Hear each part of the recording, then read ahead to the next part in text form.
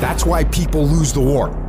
That's why people never achieve their strategic goals. They lose the little battles, the death of a thousand cuts, one missed workout at a time, and then another, and then another, and it all adds up. Why? Because we don't think about the big picture. We don't see the decay.